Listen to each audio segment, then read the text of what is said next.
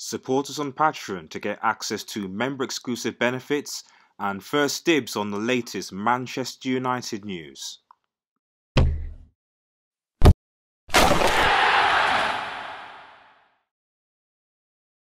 Um, right, let's quickly get onto the player ratings now um, section. So, um, most of these guys aren't going to get above a six, to be honest. Um, so with this, with, um, I think the exception of of, of Romero, um, I'll give Romero a seven. And I know it's, I know it's, um, I know he didn't have a lot to do, but to be honest, he made two very fantastic saves that basically um, kept us in the game. And I've always said for a while, I've said, you know, um, Romero's distribution is is okay. I don't think Romero and they have necessarily great distribution, but Romero is also a shot stopper, and um, and there is a confidence about him. And I've always said, you know, give him that competition, give him that, give give De Gea that competition. Um, like you said, he, Romero made two fantastic saves um, that kept us in that game. That one, I think, from the corner, which was literally point blank, um, and that goes in. So for me, he for me, he's my man of the match. I know people obviously say Brandon Williams played well. He did. Um, although um, uh, Traore kept them going down his side and putting in crosses in. He, he, he, he, Brandon Williams didn't have a lot of help, but for me, my man of match anyway goes to, to to this guy because basically he's the reason why we have a replay. Even though, in my personal opinion, I didn't want to replay. You know, so there we go. Um, Harry Maguire, um, I don't know five. Um, I don't. Like I said, I don't think. I think both Harry Maguire and Lindelof had an okay-ish game. Um, I was a bit concerned with Harry Maguire, given the fact that he, you know, he could have easily, um, he could easily been injured, and then you know you're, you're crapping yourself because we have City on Tuesday, and if Harry Maguire's injured, well, we'll see. Because Ollie could throw a screw and say Harry is going to be out, in which case Phil Jones has to come in, Phil Jones, Victor Lindelof, and you know that that's that's just a travesty.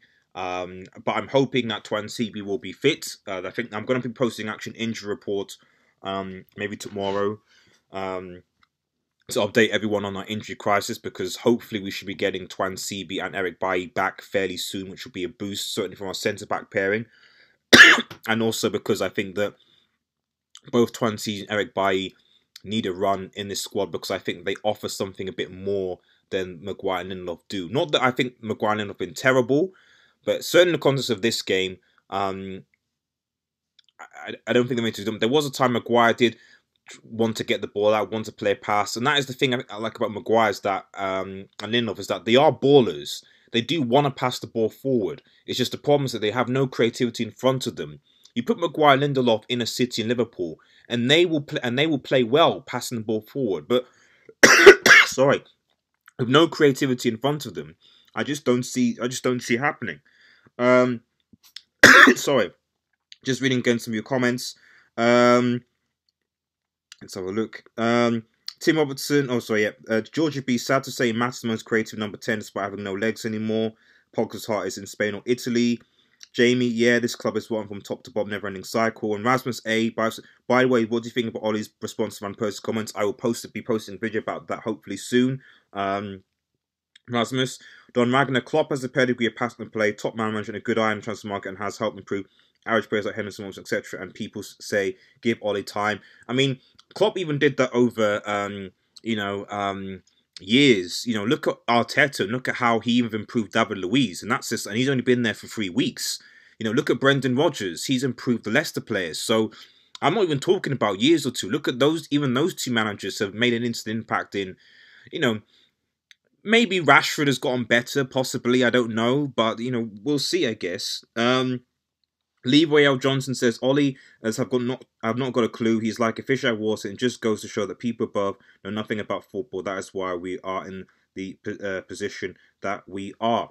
Um, could not agree. Um, so moving on. Um, sorry, but thirsty. Um, Victor Lindelof. Um, Lindelof. Um, I think same as Guire's a five. Um, like I said in many post actions before, I just don't, I don't see these two as a world class centre back pairing for United going, or even a top four centre back pairing. To be honest, the communication between the two just doesn't seem to be there. Um, and I mean, they did all right in this game. I think we did defend well, so I can't really um, Slate Lindelof and, and Maguire too much, but I didn't really see much of a difference between the two. Um, aside from maybe one or two things, but the other thing was particularly stand out because it was one of those types of games. So Lindelof gets gets a five, just like Maguire, in my opinion.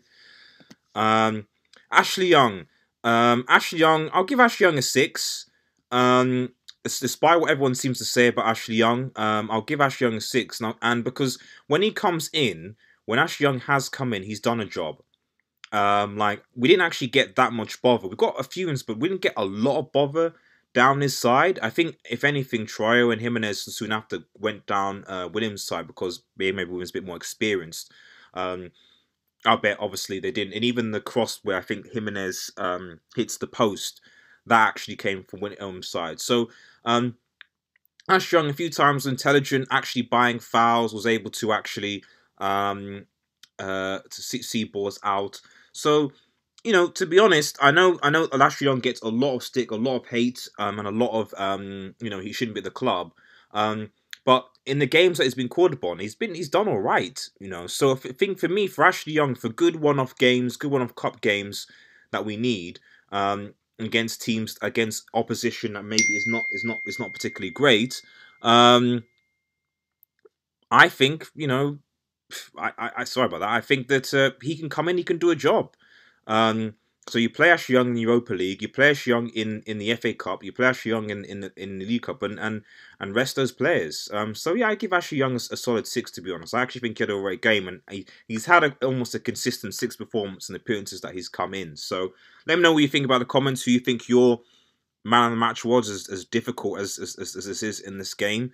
Um, moving on, Brandon Williams. I think Brandon Williams gets. Um, so, so I, will give Brandon Williams a six, but for different reasons for Ashley Young. I think that again, as a young kid, um, as someone just coming into spray, I think he he's got potential. Um, I think a lot of people saying he's better than Luke Shaw. Um, yes or no? It's difficult because we'll have to see him against against tough opposition. He hasn't really played against, I think, as tough opposition yet, as far as I'm aware. One or two wins, but not but not and not consistently. Um, and from what I can see, I definitely think it's worth a shot of alternating him, and and certainly Brandon Williams needs to be needs to be starting the Europa League games, cup competitions. Um, I would almost be keen even to say um, Premier League games as well, um, but I don't think you know Ollie has his favourites. I don't think he's going to drop Shaw. Um, so I anticipate that Williams will start against City at least um, and see he goes. He's got potential. You know, I did think that Troy was doing him a few times down that left hand side. Um, he dealt with him relatively well, but there are a few instances. I do think, and actually, this is a point. Actually, and let me know what you think in the comments. I thought it was a penalty. Um, I thought, I thought that was a penalty. I 100% thought that that was a penalty. And I know a lot of people say, "Oh, it's soft. Oh, it's sort of." The referees themselves said they didn't feel there was enough contact for it to be a penalty. And the way that I see that is that, you know, that I don't understand that statement, you know, because if you can give marginal offside by an armpit here via VAR, and why isn't a bit of contact a penalty that makes you go down? I, I don't understand. I don't understand it. And how can you gauge what that contact is when you're not actually feeling the contact? You know, um, I don't know. It's, it's very just it's very suspect. Um, I saw it. I, I just think that if there's contact in the box, that puts you off getting more, then it's a penalty. Um, and for me, I think the has done by, and I think if VAR, I don't think it's VAR. I think it's the referees. Um, and you know, people say clear and obvious, etc. Well, okay, armpit by minuscule is not clear and obvious, but you you, you give it as offside. But a small contact. The other thing as well is the fact that um, I've seen penalties given. You know, it, this is the inconsistency with, with refereeing sometimes. Is that is that um, you can see a um, a penalty. I think there was one. I think the, the one I remember vividly was um, I think did Chelsea get the penalty? I think against Liverpool in the Super Cup. Similar touch to that, small touch. It almost looked like even a dive. Minimal contact. It goes down. It's a penalty.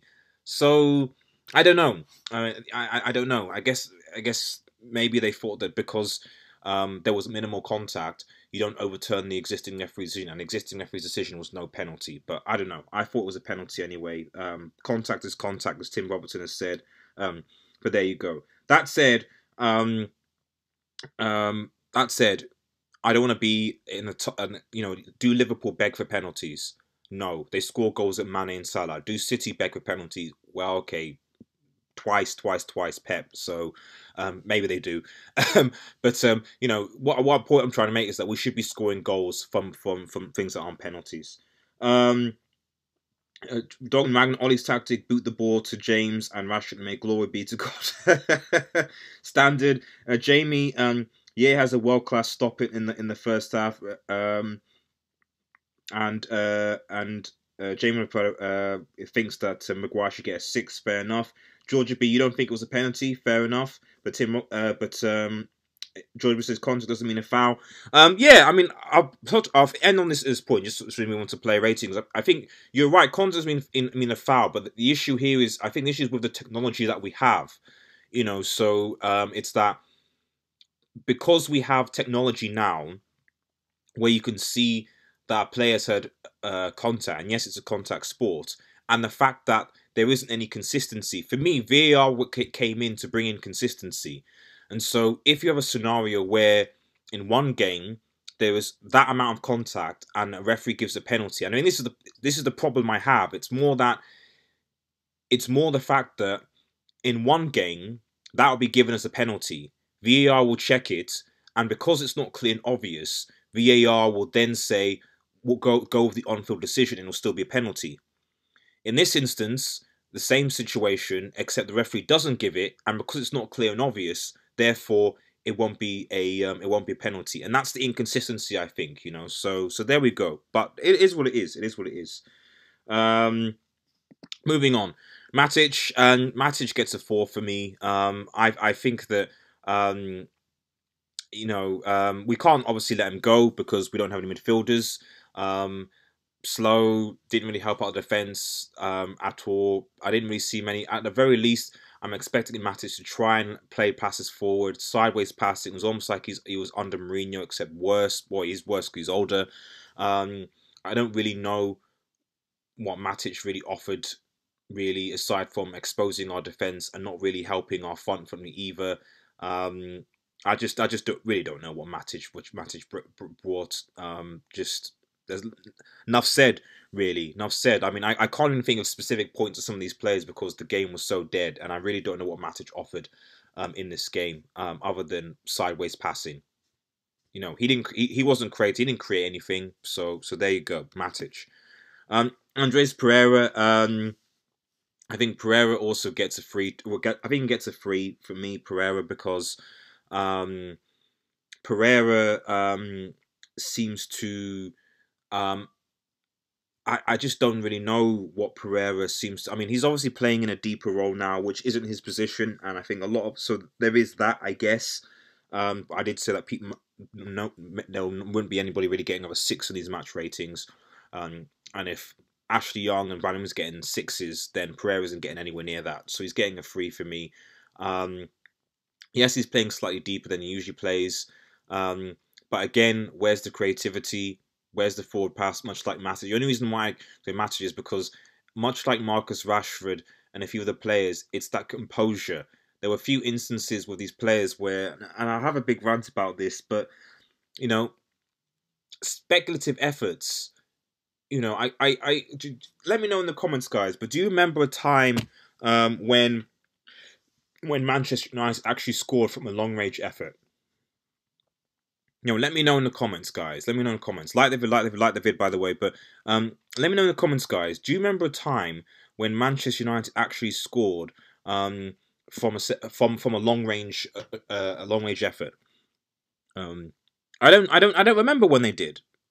So why is it that when we can't break teams down, instead of like looking for that creative pass, instead of players, and this is this is part of the problem is, is that um, our players are very static. No one is making any runs off the ball. No one is uh, and no one is wanting to come and collect the ball. So this is the problem here: is that you have situations where you're supposed to have your creative midfielders in either a Matic or a Pereira.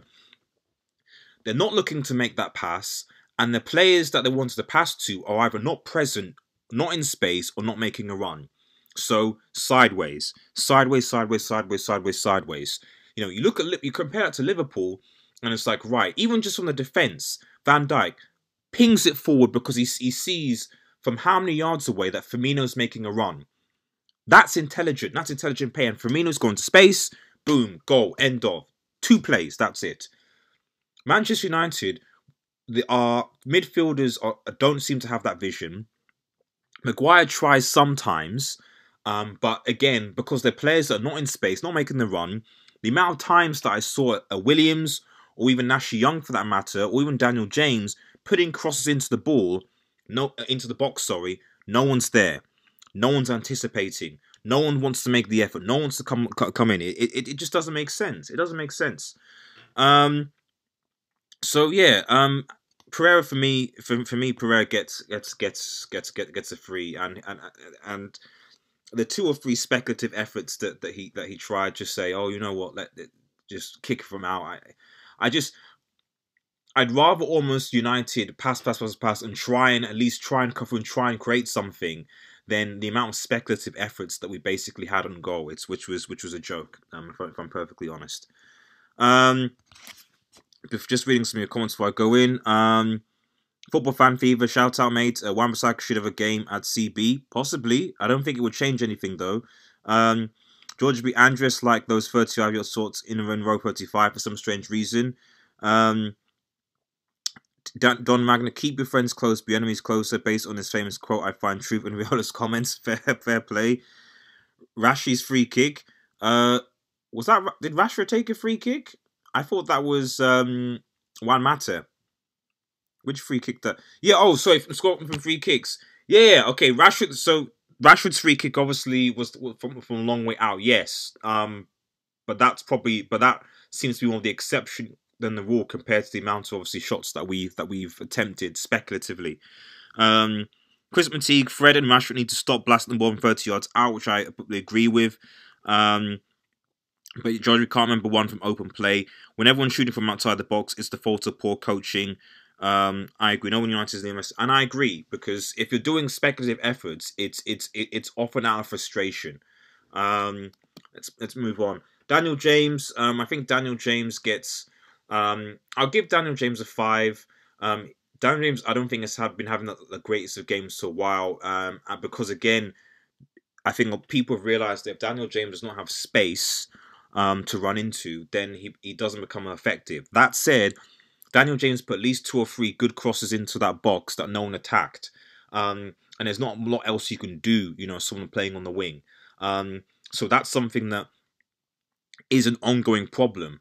Um, the other thing, I guess, and this is what Rio Ferdinand said, which I thought was interesting, is that you can, is that our wingers, you know, Martial does this when he comes on in, in from the left, um, but and he's probably the only one, in my opinion, that does it.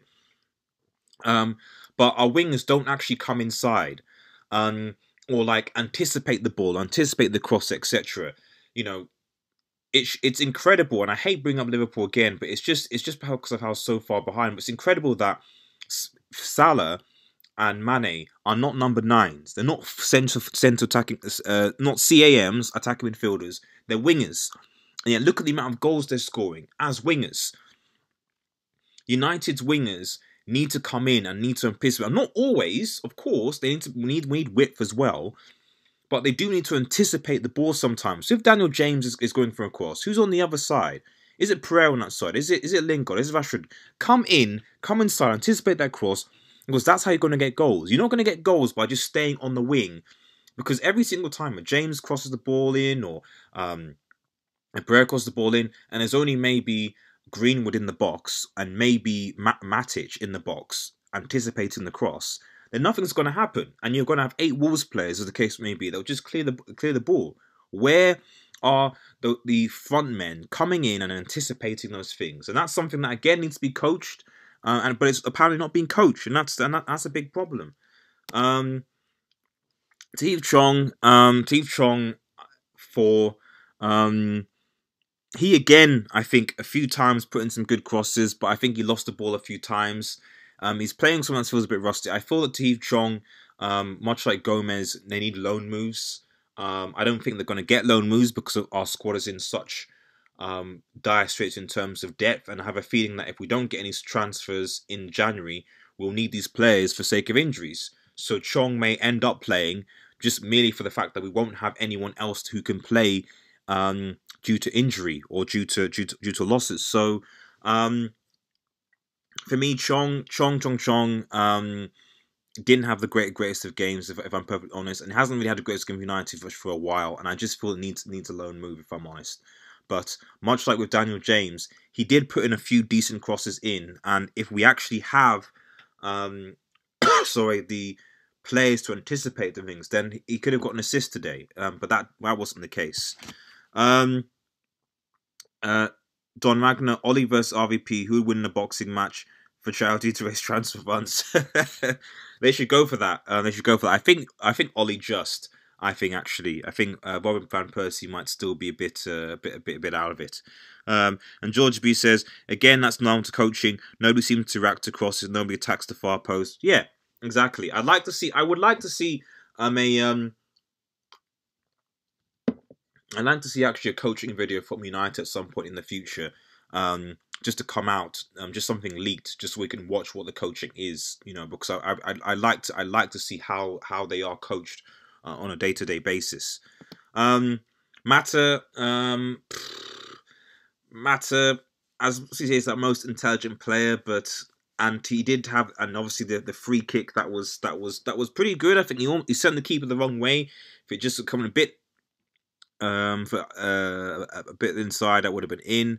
Um, I think he does stay on free kicks. A much better free kick take, taker than Pereira. I think if you're talking about free kick takers, you probably have Pereira, sorry, Fred, Mata, and Rashford are the three. Everyone else can basically just leave. Was was what I would say. Um, but Mata, Mata, I'll give, and I'll give Don Magna. Mata, I'll give a four. Um, like I said, he wasn't. I don't think it was the worst player on the pitch, although all these any one of these players get for anywhere from about a three to a six. To be honest, it was just that type of game that boring to watch. But he tried, and he came to the squad. Uh, um, and uh, it's just that obviously Mata can only really play for sixty minutes, and he was it was tasked to play for more. So so there you go. Um, and lastly, Mason Greenwood. Um, Mason Greenwood. Um, Mason Greenwood. Um, Mason Greenwood five and a half. I give Mason Green a five and a half. Um, he did get some opportunities, um, and like I've said several times, Mason Greenwood has considerably more composure than some of the players around him, i.e., Pereira and Rashford.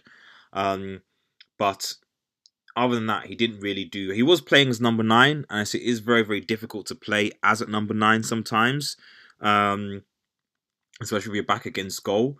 Um, and Greenwood, certainly in previous games, has been more so been playing off the right than in front as a number nine. But obviously, Martial wasn't there. Um, if Martial was playing and wasn't ill, and Green was on the right, then maybe you might have seen something different. Um, I think Greenwood and Daniel James interchanging on the right is probably the way to go from the future, to be honest, um, to just give competition on that side um, and, and see what happens with that. Um, but like I said, he's had better games. Um, but again, Green was the type of player where if he's got the right coach, if there's the right coaching staff around him, he can blossom into someone good. Um, and that's and that's um, that's the shame. That's a shame. You know, two footed, can finish, and has composure above his years, but it's just not getting the right coaching right now. Um, Don Magna Mata's voice is like Spanish Joe Pasquale. Mason had some good technicals on the ball with absolutely no one moving around him in space. I agree, and it's that space thing again, as we said. Um, and the thing that, that the positive thing that, that Lingard can sorry, not Lingard, um Mason Green, definitely not Lingard, can give you is is the fact that he um that even though there's no space, he can still create something. And that's the difference. You know, I remember uh, when we played Everton, I think, um, Everton and even Newcastle, those games when but more so Everton when there were like 10 Everton players, I for Needle, and that goal was just excellent. He had no right to score that goal, but he found the space and he took it. And that's the difference between Green. I see Greenwood and quite a lot of other players. Um, Martial at times can do it, um, but Greenwood can find that space. Um, he's done it before and he can do it again. Um, and so fair enough. But in this instance, I, I give him a five and a half.